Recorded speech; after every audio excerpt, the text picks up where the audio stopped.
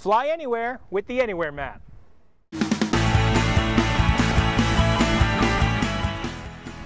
I'm here today with Bob Zajko, who recently wrote an article on thepilotreport.com about using the Anywhere map. And today, he's actually going to show us an actual demonstration of how to use the hardware and software.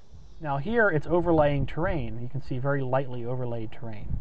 Now, I also have it set where you can turn on the red above. So if you're descending into a mountainous airport, you can actually have it shading the red. So if you have to go missed, you can be aware that, oh, there's a mountain over there. I better pay attention to my heading on mm-hmm. the missed approach procedure because it'll actually shade the plate. I have that turned off just like earlier because everything was red and it's hard to see everything. And down here you can overlay. You can turn that terrain off. You just want to see the basic white plate. And you can turn uh, radar on and off. Now, oh, very cool.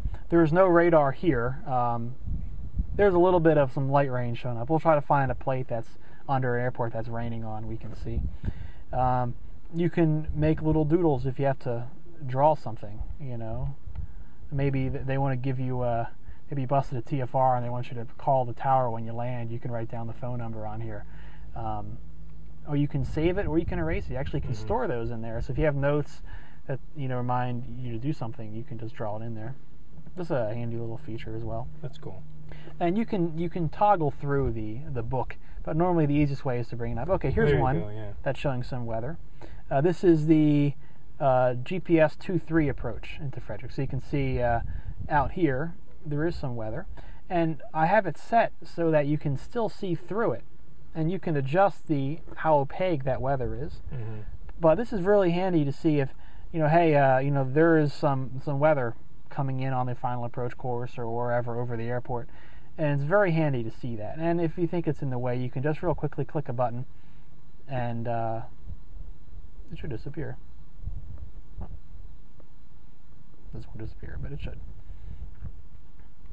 All right, so that's the approach plate through Anywhere Map. If we go back to the main page, there's some other things you can do when you arrive at an airport, which is kind of handy for uh, for VFR flight. Uh, it always will defaults to the save version. So even if I turn okay. this off, when I click that again to go to this screen, it goes to what's saved in there. So I'll just turn off that so we can see it better. I'll go down to the airport again. This is a handy little thing. You can bring up uh, extended center lines for the airport and that will draw extended center lines for all the runways. Here's one, here's one. That's kind of handy if you're planning a straight in approach, the airport's not busy. You can just kind of follow this ILS looking uh, center line to make sure you're lined up with the runway. This is, I use this a lot if I'm landing at an airport. Uh, into the sun, for example, I have a little trouble seeing the runway at first. I know if I'm on this line, I'm lined up for the runway. And I don't have to worry about trying to find it in the sun mm-hmm. if it's mm-hmm. glary. So those are some of the features you have. Now, there's also you have the rubber banding you can where you can move a route. If you go up here to this rubber band mode you can click. And you can actually move the route. Now here it's not going to let us move the route because we have an instrument procedure loaded and it, it, it doesn't want you to move it. But you, could rubber band this and you could say well there's a storm here. Right. um, I want to avoid this storm. I'll just uh, you know draw the line and uh, you know drag it over around the storm but obviously, because again we're in the instrument procedure, it's not going to let it. Okay. It's red. But normally, if you're in cruise flight, you can just drag that, drag it around the storm, and just follow the line. There's some other basic features in here. There's a E6B type calculator. You get all the typical E6B functions that you can have.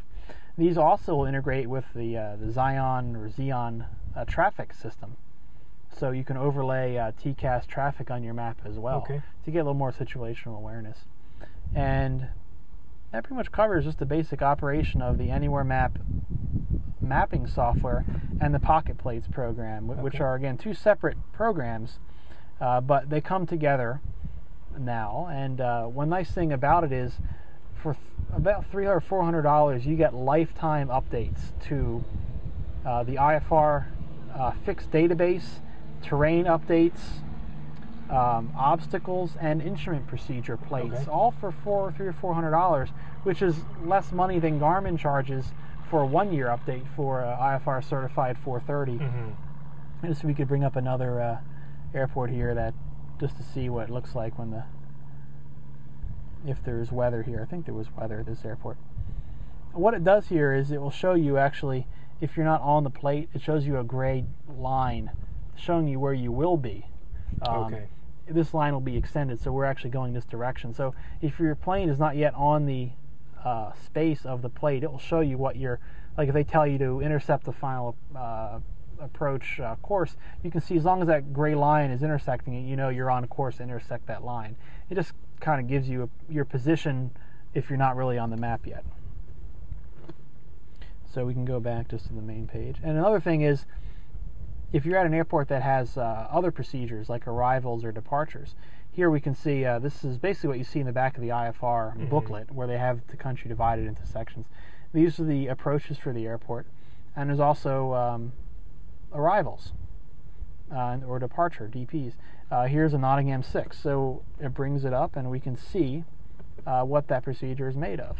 And unlike uh, one drawback is right now you can't actually type in the um, FMS, you know, flight management system name for it. Like here, the OTT.OTT6. Right. You could punch that in on FMS and it would know what this is. Here, you you don't, but at least uh, you can look at it like you right. would on the paper okay. the old way of doing it anyway. So it has that as well, and all the other information that are in the instrument procedure books are contained in here that you can you can actually flip through the booklet like you would if you had paper. So that pretty much covers the uh, the operation of the Anywhere Map system. There's also a lot of other features you can turn on and off. It's what's nice about it is it's highly customizable, and compared to some of the other options like uh, mm-hmm. Garmin 696, it's a very affordable system. Okay. Uh, this system is only um, software altogether is about a thousand dollars.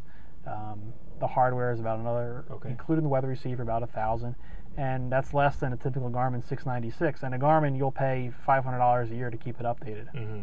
So, again, it's a nice system. It's affordable, and um, it really is a great tool for flying, especially if you're flying around weather or airspace. It really keeps you up to date about what's going on. Cool.